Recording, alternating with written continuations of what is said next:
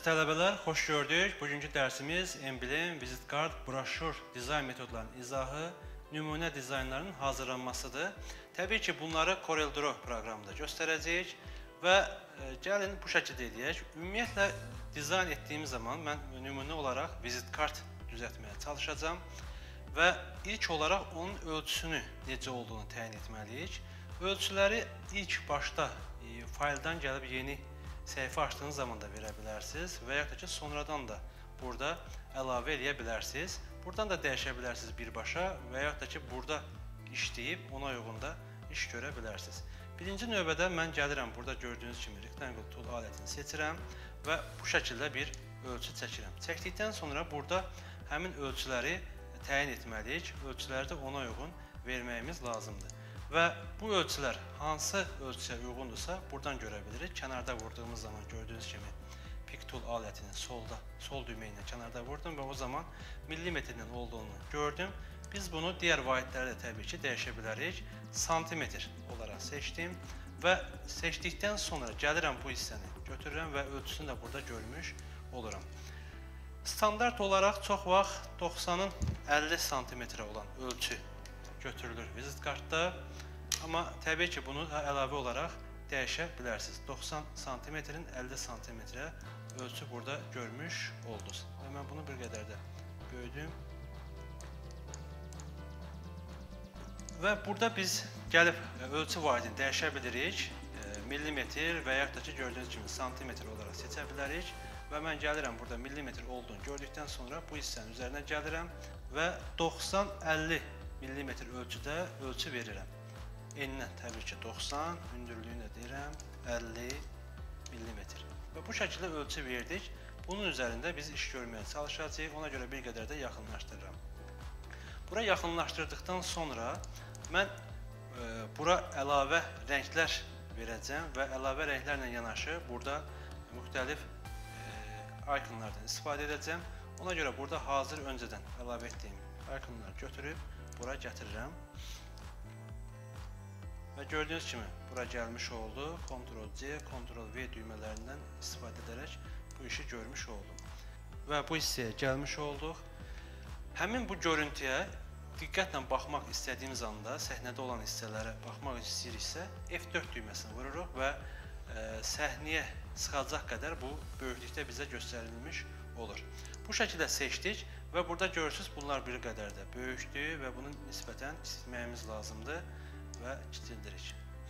Kiçiltdik çox kiçildi, bir qədər də normal bir vəziyyətdə saxladıq və burada gəlirəm, elə burada olmuşkən həmin bu rəng e, modunu da buradan seçmiş oldum. Və gəlirəm bu həmin hissəyə, burada gördüyünüz hissəyə.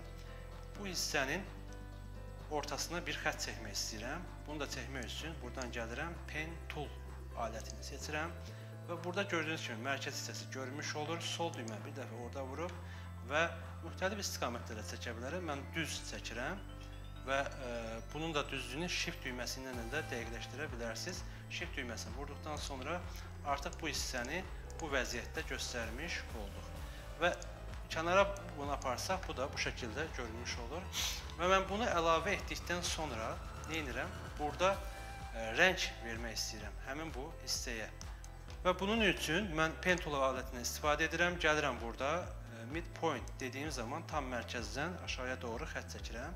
Gördüyünüz kimi bu xətti çəkdim və burada pick tool alətini seçməkdən ondan imtina etmiş oldum. Burada artıq e, iki hissə olması üçün mən bunu bölməliyəm və bu şəkildə də yenidən gəlirəm. Gördüyünüz kimi mouse-la tutdum bu kənardan və içəriyə doğru çəkirəm. Və burada gördüyünüz kimi özü həmin hissə keçdi və bu zaman sağ düyməni vururam. Sağ düyməni vurduqdan sonra gördüyünüz kimi bunu artıq mən e, bu ölçüdə formalaşdırmış oldum. Ctrl Z düyməsindən geri qayıtdım. Yəni buradakı əvvəlki hissəyə isə dəymədim. Bir daha göstərirəm bunu. Demək ki, burada gəlirik. Seçdiyimiz hissəni götürdüm və sağa doğru çəkirəm və çəkdikdən sonra sağ düyməni vururam. Vurduqdan sonra həmin hissənin kopyası bura düşmüş olur və mən bu burada rəngi dəyişə bilərəm. Gördüyünüz kimi bu şəkildə fərqli rəng vermiş oldum. Hətta bir qədər tünd qara deyil, biraz da ə, e, açıq rəngi gətirmiş oldum. E, və bunu da gətirdikdən sonra digər hissələrə yazılar yazacağıq. Amma ilk olaraq bunun üzərində də müəyyən elementlər, effektlər verək. Bunun üçün belə bir effekt verməyə çalışıram. Bu hissəyə gəldiyim anda gördüyünüz kimi bu hissədə və ikinci aləti seçdikdən sonra yaxınlaşdırıram və Ctrl Q düyməsinə vururam. Ctrl Q hərfi desəm daha aydın olar yəqin ki. Düyməsinə vurduqdan sonra burada sol düyməni bir dəfə vurduqdan sonra sağ düyməni vurub və to curve hissəsini seçirəm. Bunu da seçdikdən sonra gördüyünüz kimi belə bir e, hissə açıldı və mən bunu bir qədər sağa, sağdan sola doğru çəkmiş oluram. Və gördüyünüz kimi artıq həmin hissəni bu vəziyyətə gətirmiş oldum. Bu vəziyyətə gətirdikdən sonra digər hissəyə də əlavə rəng verə bilərik. Amma e, mən hal-hazırda o hissəyə o rəngi vermirəm. Və burada da əlavə olaraq gəlirəm. Yenə də bir rectangle tool alətindən istifadə edirəm. Bura doğru belə bir şey çəkirəm. Və bunu çəkdikdən sonra, hətta bir qədər də kiçildək. Çəkdikdən sonra buna rəng verirəm. Həmin gördüyünüz kimi burada ə, e, müxtəlif ə, e, rənglər qarışıq oldu, amma bir-birinə yapışmış olmadı və əlavə olaraq mən gəlirəm burada verdiyimiz rəngin kənar xəttlərini götürə bilərəm və burada gördüyünüz kimi gəlib nan dediyim anda bunun kənar xəttləri burada görünməmiş oldu və OK dedim, buradan çıxmış oldum. Eyni zamanda digərlərində də e, zamanla onu etməyə çalışacağıq. Və buradakı hissəyə əlavə olaraq bir kölgə effekti vermək istəyirəm. Bunu birbaşa kölgə effekti vermək üçün Burada hazır hissələrdən drop shadow görürsüz. Bunu e, sola doğru çəkməklə kölgə effekti verə bilərsiniz və yaxud da ki, yuxarıya doğru çəkə bilərsiniz bu şəkildə. Amma mən bu variantdan deyil, burada pen tool e, alətindən istifadə edəcəm yenə. Bu hissəni gəldim, buradan bura doğru çəkirəm, buradan bura doğru və ən nəhayət bir qədər bıraq və ən nəhayət bunları geri qayıdaq şəkildə çəkdik və bunları birləşdirdik. Gördüyünüz kimi belə bir şəkildə birləşdirmiş oldum və bu rəngi bura verdim. Bu rəngi verdikdən sonra gəlirəm yenə də eyni şəkildə buradan nan deyirəm. Yəni bunun kənar xəttləri olmasın deyirəm. OK dedim və e, sonra nə edirəm? Bu hissəni bir qədər bu rəngdən ayırmalıyam ki, o fərq görünə bilsin. Ona görə bunu da gəlirəm buradan bir qədər daha tünd rəngə salıram. Gördüyünüz kimi burada baxın bu hissəyə gəldik. Həmin bu hissədən içərisinin fill color, yəni seçdiyimiz hissənin rəngini buradan dəyişirik, kənar xəttləri isə buradan dəyişirik. Bura gəldik və buradan da bir qədər sağa doğru çəkdik və bu tünd rəngi almış olduq və OK dedim. Bu şəkildə fərq hiss olunur burada həmin hissə olaraq. Və bu hissəni də reallaşdırdıqdan sonra mən istəyirəm bir kənar xəttləri olaraq da bura əlavə bir effekt verək. Bunun üçün yenə də rectangle tool alətindən istifadə edirəm. Mən bunu bu şəkildə çəkdim. Gördüyünüz kimi bu vəziyyətə gətirdik və əlavə olaraq yenə də buradan tuturam, yuxarıya doğru çəkirəm, sağ düyməni vururam. Sağ düyməni vurduğum anda əvvəlki hissə burada qalır və yeni hissə də burada görünmüş oldu. Bunlara da eyni şəkildə həmin o rəng effektini verə bilirəm. Bir qədər də bu rəngi vermiş oldum və eyni zamanda kənar xəttlərindən də imtina edirəm. Gəlirəm buradan və gördüyünüz kimi nan dedim və OK dedim. Bu kənar xəttlərdən də imtina etmiş oldum. Bunu bir qədər istərsəniz kiçildə də bilərsiniz. Zövqə görə dəyişə bilər. Bunu da e, istifadə etdiksə, istəyirəm burada kənar olaraq bir ümumi bu hissəyə e, bir qədər əyriliş verək, belə deyim. Bunu da etmək üçün nə edirəm? Mən bu hissəni seçirəm. Seçdiyim bu hissənin üzərində sağ düyməni vururam və buradan gəlib Power Clip Inside dedikdən sonra bu çərçivə, ümumi çərçivənin içərisinə bunu əlavə edirəm. Gördüyünüz kimi bunu əlavə olunmuş oldu və eyni zamanda bu hissəni də seçirəm və Power Clip Inside dediyim, burada gəldim, bunu əlavə etmiş oldum. Və bunu bunun içərisinə atmış olduğunda görmüş olduq və ümumi hissəni də seçdikdən sonra burada görürsünüz kənar xəttlər e, və buradakı hissələrə görə dəyişə bilərsiniz. Künclər hansı vəziyyətdə olsun. Mən nümunə olaraq bunu dəyişsəm, bura 10 yazsam, gördüyünüz kimi bu vəziyyətdə dəyişmiş olur. 10 düzdür, çox oldu, amma hər birində avtomatik olaraq dəyişdi. Nəyin hesabına burada gördüyünüz kimi kilit işarəsi var. Bu açıq olsaydı ancaq seçdiyim hissəyə görə dəyişmiş olacaqdı. Və mən bunu e, digərlərinə keçsəm isə daha fərqli şəkildə bu gördüyünüz kimi bu vəziyyətdə göstərmiş ola bilərəm. Bunu e, yenə gəlirəm əvvəlki vəziyyətə və bura 5 yazaq və düşünürəm ki, bu şəkildə yazmağımız e, uyğun görünə bilər. Və bunu da hazırladıqdan sonra, bunu da əlavə etdikdən sonra bizə nə qaldı? Artıq bura e, müxtəlif e, yazılar və ya ki, loqoların əlavə olunması. Burada olan həmin bu ikonları seçirəm, bura əlavə edirəm. Bura gəldi və buna uyğun da biz burada ad, soyad, nömrə e, və sosial şəbəkə e, əlaqələrini bura yaza bilərik. Nümunə olaraq bir ad yazaq. Gəldim buradan seçdim və bu şrifti seçdim və bura yazıram. İlk olaraq əlaqə nömrəsi olaraq yazıram.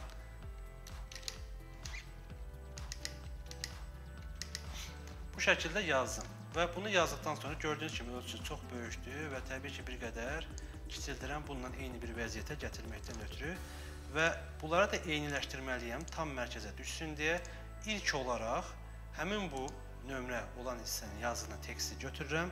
Nə ilə eyniləşdirəcəmsə onu seçməmişdən öncə shift düyməsinə vurub və o şəkildə seçirəm. Gördüyünüz kimi bu şəkildə seçildikdən sonra klaviaturadan E düyməsinə vurmaqla bunu uyğun bir şəkildə mərkəzləşdirə bilirsiniz və bir qədər də sola doğru yaxınlaşdıra bilərsiniz. Eyni zamanda digər hissələri də e, kopyalaya bilərik.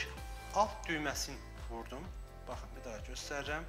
Həmin bu hissəni kontrol düyməsini tutub sıxıram ki, düz bərabər aşağıya düşmüş olsun və mausun sağ düyməsini vurmaqla bu şəkildə kopyasını bura gətirmiş oldum. Bir dəfə gətirdikdən sonra klaviaturadan Ctrl və D düymələrini birlikdə sıxmaqla bərabər simmetrik vəziyyətdə bunları biz əlavə etmiş ola bilirik və təbii ki, burada biz həmin bu nömrə hissələr üzərində düzəliş eləməliyik. Tutaq ki, yazıram.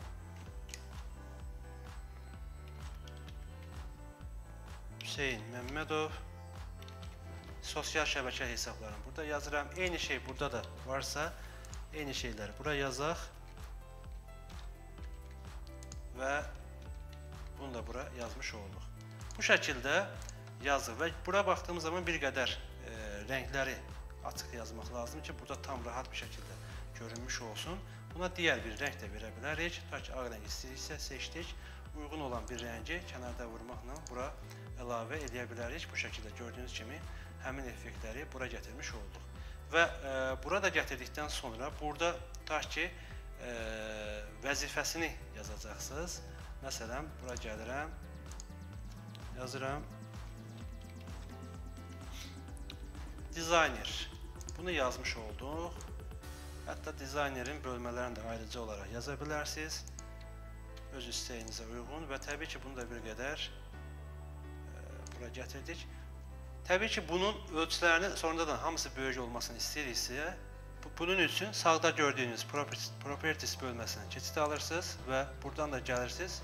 A olan işarənin üzərində vurduqdan sonra gördüyünüz kimi burada All Caps deyib bu hissəni böyüdə bilərsiniz. Gördüyünüz kimi bütün simvollar böyük bir şəkildə oldu və bu simvollar arasındakı məsafəni də dəyişə bilərsiniz. Yazı seçili olduğu halda ikinci aləti seçdikdən sonra gördüyünüz kimi bunu mən sağa doğru çəkməklə simvollar arasındakı məsafəni rahat bir şəkildə dəyişə bilirəm və bunu da bu vəziyyətdə göstərmiş oldum. Və bir qədər də bu rəngi verdi, daha aydın, daha rahat görünmüş olsun. Və bundan əlavə burada ad soyadı yaza bilərsiniz və ya da ki, logo əlavə edə bilərsiniz. Mən sadəcə ad soyadı yazmağa kifayət edir deyə düşünürəm. Və gördüyünüz kimi burada Hüseyn Məmmədov adını bura yazmış olduq və buna uyğun da e, effekt verə bilərik. Burada müxtəlif şriftlər də seçə bilərsiniz, uyğun olan şriftləri seçə bilərsiniz. E, altda e, başqa bir yazılar da yaza bilərsiniz və əsas olaraq həmin bu templatein hazırlanma məsələsini burada sizə göstərmiş oldum. Belə əziz tələbələr, gördüyünüz kimi CorelDRAW-da emblem, vizit kart, broşür, dizayn metodlarının izahı, nümunə dizaynının hazırlanması mövzusunu izah etdik. Bir nümunə olaraq isə vizit kartın hazırlanma qaydasını göstərmiş olduq. Ümid edirəm faydalı oldu. Sağ olun. Görüşərik.